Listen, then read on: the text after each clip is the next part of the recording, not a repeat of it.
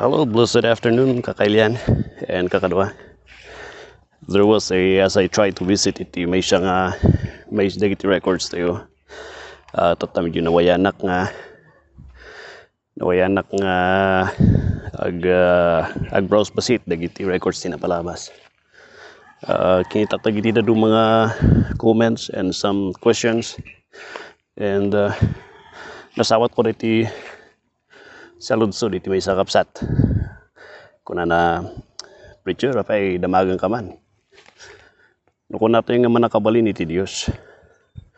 Apay nga nga no kun nato nga manakabalin iti Dios, apay nga iti nga magmangyari ti lubong to nga may palpalugos kan kaslag torturay matan iti kinadakas. No talaga nga manakabalin ti Apo. Um, dati ti kanain nga sa lunsod iti iti kaduan nga tao nga mangobserbar nga agpaiso iti panawan tayo. Haan mat nga kunatay nga pilosopo di ay, haan nga panangi dadanos di nga sa lunsod. Kinagpaiso na kat ado ti kinagpaiso na di nga sa lunsod. Uh, haan nga panang ridicule, panangi dadanos iti Dios. Ngam sa lunsod di nga mapasamak kapusta, dati ti realidad nga magmangyari ti lubong tayo. Ada tayo ti sitwasyon nga kaslang ay ti lubong tayo kat apay dito kaslang uh, awan iti Dios. Halang uh, na minsan di jay nga salud sungin may. Dati mat lang tirason no apay nga anak di doktrina dagiti ateista. Dati nga doktrina ti ateista kat dati ti sursuro nga uh, awan iti Dios gapusta no kumana nga ada iti Dios apay nga nga kasi ti mangyari iti lubong. Awan iti Dios gapusta no ada iti Dios kuma ang kuma kas ti mangyari kada tayo. Nam gapusta awan iti Dios iso nga kas lang iti lubong kat uh, kastoy nga awan iti mangkon kontrol. So dagiti iti rason apay nga nay anak da iti nga panakaamo iti Dios di kuna tayo nga dati ko tayo nga di presence iti evil iti panawan tayo. Agpaiso ka di dito eh. Agpaiso ka di nga iti sangwanan iti Dios kat uh, awan ka di iti existence na, awan ka di iti Dios nga mako na. Adi ba ka kayo? Gapusti kinadakas. Adi ba ka kayo? I think No kita nyo iti scripture. Ti kaskas daw kat ito eh. Apay nga iti Diyos, dahil iti usto nga sa lutsod. Apay nga iti Diyos kat inpalubos na latang agbyag iti tao nga nagbasol kanya na. Nga deserving da nga mairis iti lubong. Deserving da nga mairis nga mapukaw diti daga. Nga maapay nga adada pa lang agbibiyag nga narata. No, adadag iti presence, iti evil, iti panawan tayo. Nagbasit lang di ay. Nagbasit lang di nga presence, iti evil. Tidakal nga sa lodsod. Deserving ka di iti Diyos. Iti, iti kinasaya at iti apo. Nobody deserves ti kinasaya at iti Diyos. Sino iti tao nga agpanunot nga magibaga ti sangwanan iti Diyos nga dapat lang iti Dios ket agarami tinasayat para iti tao. Considering nga nagbasol iti nagbasol iti tao ti sangwanan iti Dios. Sino ka pa lang ikay kan na ti pabor nga idalan na pa lang ti panakaisalakan. Nga ited na pa lang ipulubos na pa lang Yesu Kristo nga matay para kanyam. Anya pa lang ti ilas ilaslastog iti rupam. Nga siga kat ilastog mo nga dapat kat nasayat ti Dios iti panagkontrol na. Nututusan Dati amin nga kinadakos iti lubong nga mangyari. This is what we deserve. Dahito iti dapat nga para kada tayo.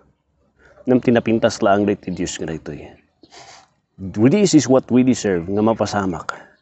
Nga may intensyon iti Diyos. Inusar na dagito nga kinadakas nga mangyari iti lubong. Tapno mangisuro pa lang. Iti tao nga dapat nga madusa kan mairis diti daga malipatan di kuna ni ako malipatan di kay kuna ni ni Joseph the Lord uh, you meant evil to me kuna na ijay uh, day kakapsat na tinano yu iti dakas kanya but God uh, meant it for good. Nadagsan niya nga statement. Ako na na pinanggap yu ti dakas kanyak. Namre ti panangipanggap yung adakas kanyak. Adagay tinapintas nga panggapin plano iti Diyos kanyak. That is amazing iti may nga Diyos. Amin apay. That is because iti tao nga dapat nga mairis. Anya pa ilang kumatibiyang iti Diyos. Yet, gapus iti dusa, it, gapus iti basol iti tao, in may ti kinadakos iti lubong. And what we deserve is, di kinadakos iti lubong. Naman niya pa ilang ti rason nga impakita na tayo na kada tayo, nga he will use iti kinadakos, nga mangipakita, iti napintas nga panggap na. Dapat i-reason na latang umati tao, but he did not do that. Iti biyag ni Joseph, he used evil to show something, a great lesson, iti biyag iti anak na. Dagiti kinadakas nga mang mangyari tayo, kada tayo tata. Makita tayo iti anak ti Apo. Dagiti Israelites. He uses evil, tapno dusaan na.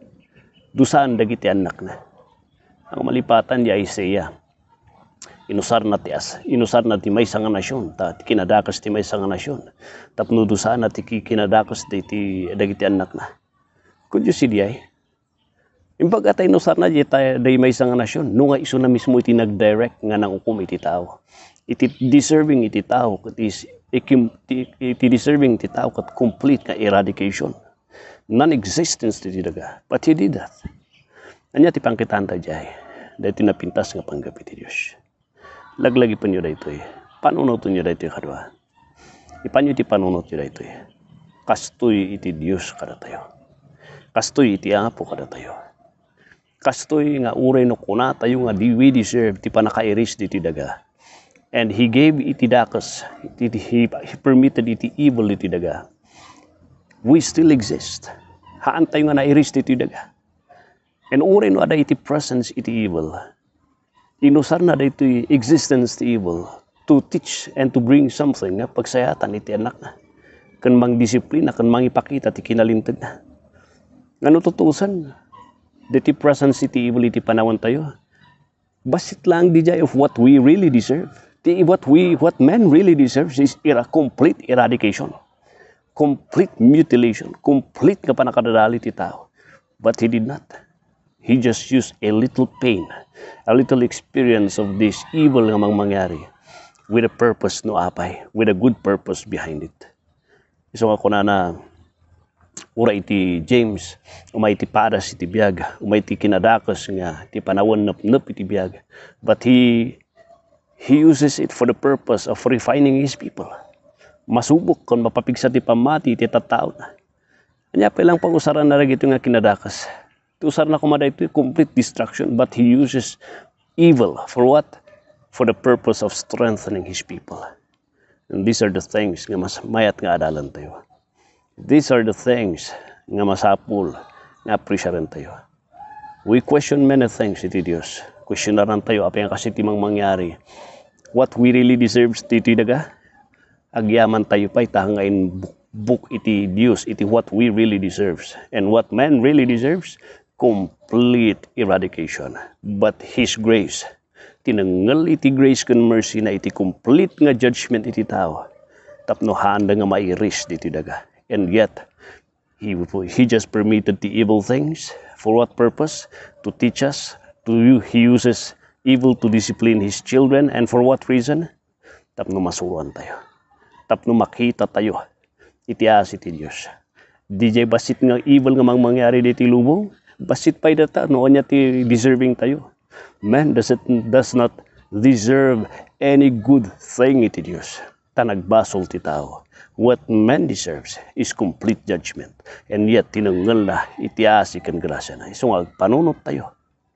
Question questionaran tayo iti mang mangyari diti lubong. Question questionaran tayo iti mang mangyari diti daga. And we question iti presence iti Dios. We question iti love iti Dios. We question iti uh, power iti Dios. Nam natutusan iti complete nga deserving tayo. We do not deserve any attention of mercy. Yet he gave his mercy nga hanteng nga mairis diti daga. Dagijay nga parik na iti kinadakas, basit lang diya of what man really deserves. iya tagyaman tayo ti kasdi nga Diyos. So di iti may isang adalan tayo, kan pagpanunutan tayo concerning iti saludsud. Iti absolute control, power iti Diyos. Iti kinadakas iti daga. God bless you, Kapsat.